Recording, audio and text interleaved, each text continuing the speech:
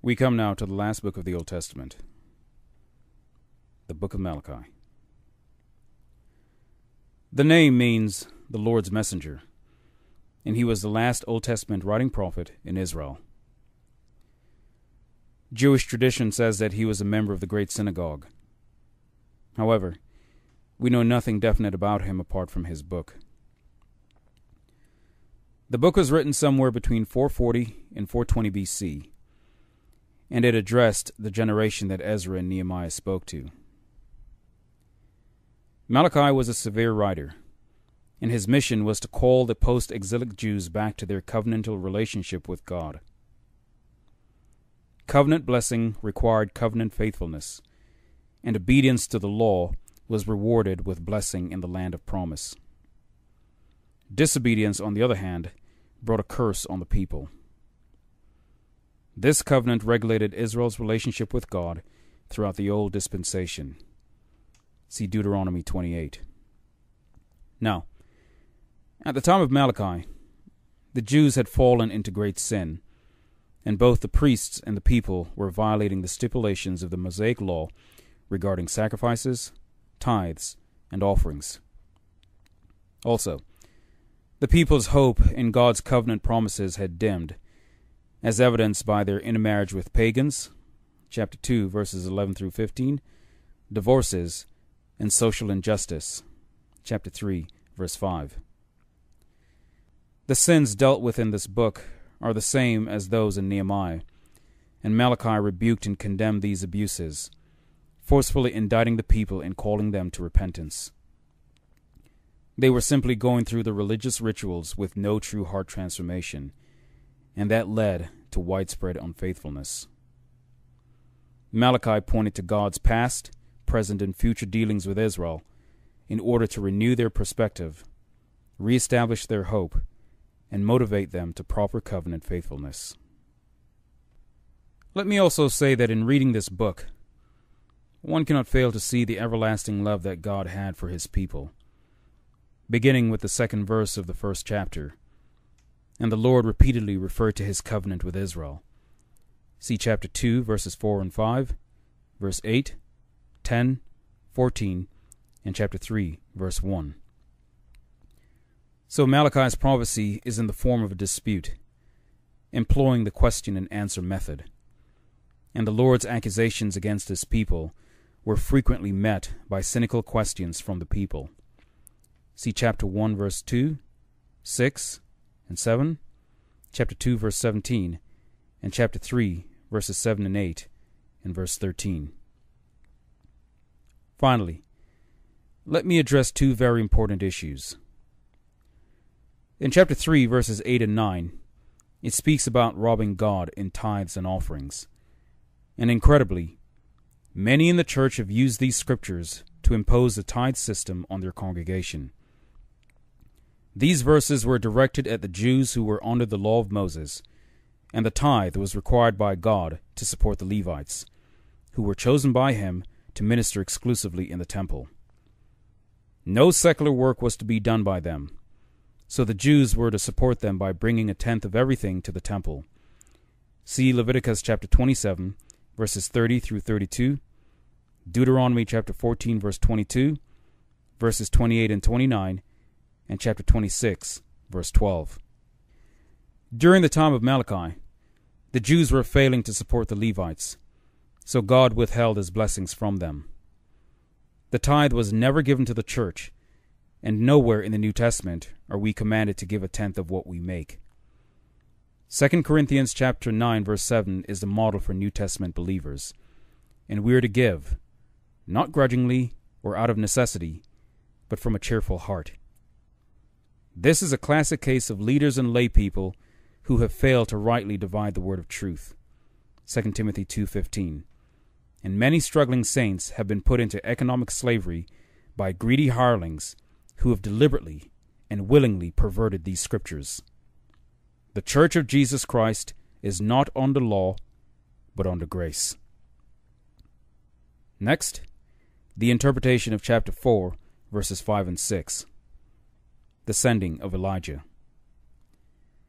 Many have tried to link these two verses with chapter 3, verse 1, which speaks of a messenger who prepares the way for the Lord's coming. However, Matthew chapter 11 verses 7 through 10 specifically states that John the Baptist was the messenger who prepared the way for the Lord. He was not the fulfillment of the prophecy about Elijah in chapter 4 verses 5 and 6. In short, he would minister in the spirit and power of Elijah. Luke chapter 1 verse 17. And he admitted that he prepared the way for the Lord. Matthew chapter 3 verse 3. But he denied he was Elijah. John chapter 1 verses 21 through 23. Now, in Matthew chapter 17 verse 11, our Lord, speaking apparently after John's death, affirmed that Elijah truly shall first come and restore all things. This future expectation indicates that Malachi chapter 4, verses 5 and 6, was not fulfilled in the ministry of John the Baptist.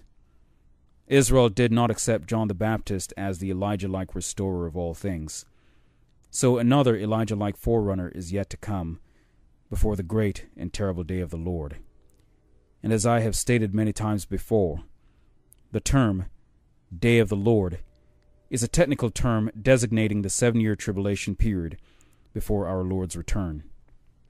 So, though John did not fulfill Malachi chapter 4, verses 5 and 6, Elijah was a type of John in that there is a great deal of similarity between Elijah in chapter 4, verses 5 and 6, and the messenger, John the Baptist, in chapter 3, verse 1. And when we go to Revelation chapter 11, verses 1 through 13, one of the two witnesses during the seven year tribulation period will have an Elijah like ministry.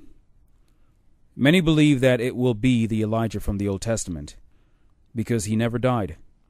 He was taken up into heaven in a whirlwind. See 2 Kings chapter 2 verse 11. And he also appeared with Moses on the mountain when our Lord was transfigured before Peter, James, and John.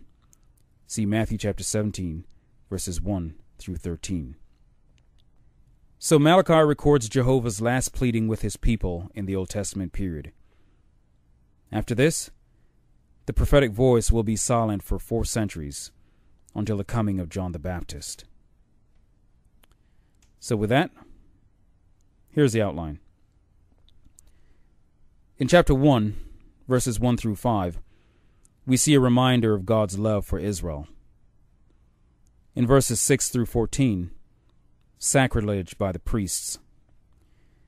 These wicked priests were offering the worst of the animals to God blind, lame, sick, stolen, etc.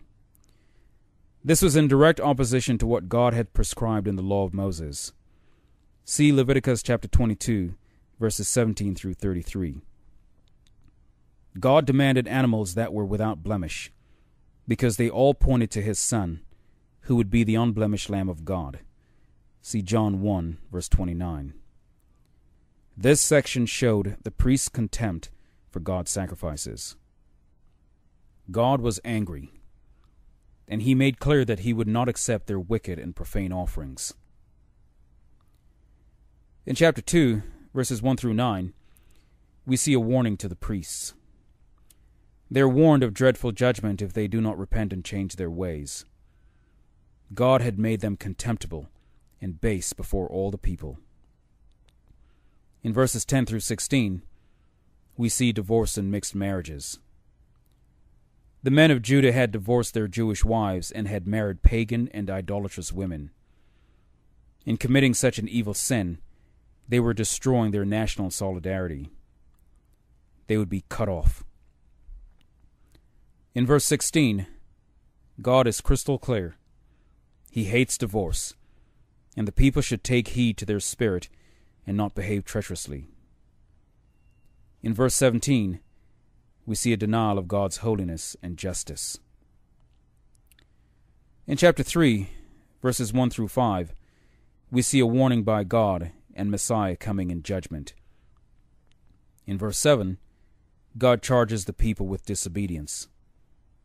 In verses 8 through 12, they robbed God of tithes and offerings. In verses 13 through 15, the people complain harshly against God.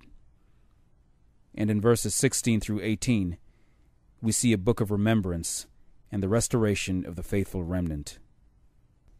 As in every age, there has always been a remnant of faithful Jews who truly love Jehovah. They will be spared and blessed, and acknowledged as God's own possession, being made into his jewels. And finally, in chapter 4, we see the judgment of the wicked in verse 1, the coming of the Messiah to the remnant, verses 2 and 3, and a closing exhortation to obedience with the promise of the coming of Elijah the prophet, verses 4 through 6. So the Old Testament ends with the promise of a curse if there was not a repentant remnant. And in their synagogues, Jews repeat verse 5 after verse 6, so the book will not end with a curse.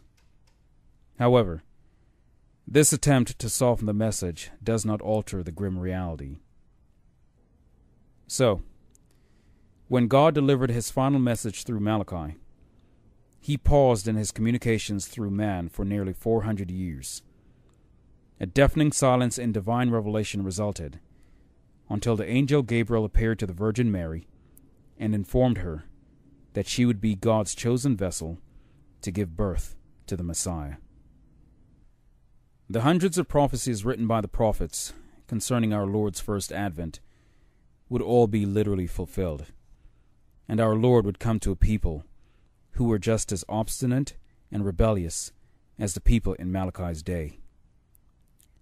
Sadly, when the Messiah of Israel appeared to his people, they did not receive him or delight in him, but crucified him. As John chapter 1 verse 11 says, he came unto his own, and his own received him not. This concludes our study in the Old Testament, and I pray that it has brought you to a greater understanding and appreciation of the Word of God. Next up, the unblemished Lamb of God, the Lord Jesus Christ, is revealed to us in the New Testament Gospel of Matthew.